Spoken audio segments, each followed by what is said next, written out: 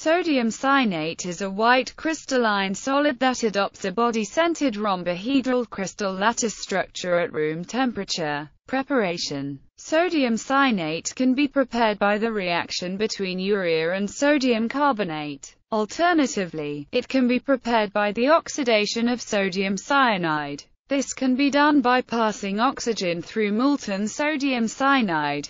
2NaCN plus O2 2NaOCN One of the more recent methods of synthesis involves modifying a procedure in the production of fatty alcohols. Instead of quenching the reaction with water, ammonia is added.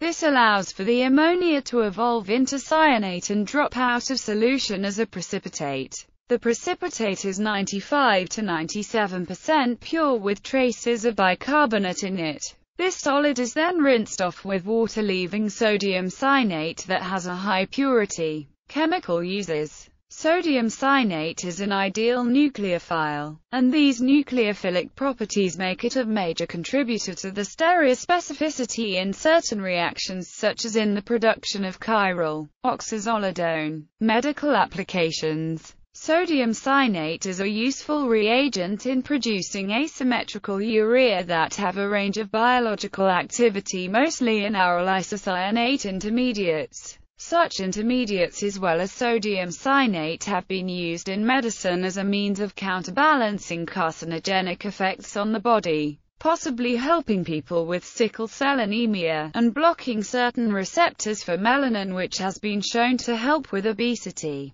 In most cases the intermediates produced with sodium cyanide are used for medicinal study however, in the cases of sickle cell anemia and anti-carcinogenic research sodium cyanate itself was the compound of interest.